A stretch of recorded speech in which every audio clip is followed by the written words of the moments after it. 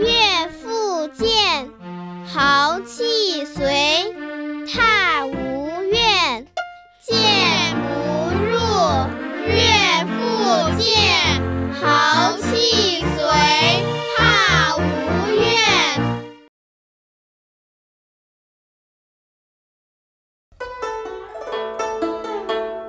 爸爸妈妈如果正在气头上，听不进我们的劝说。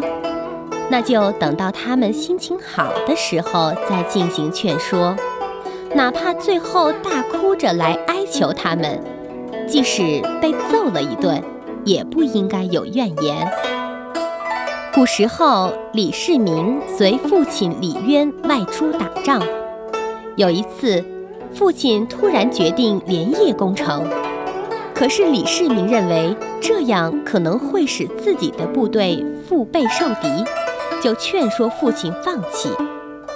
可是他劝了好几次，父亲就是不听。于是他就在帐篷外嚎啕大哭起来。父亲看儿子哭得那么伤心，觉得儿子可能是对的，就停止了行动。后来。他在李世民的建议下，终于打了一个大胜仗。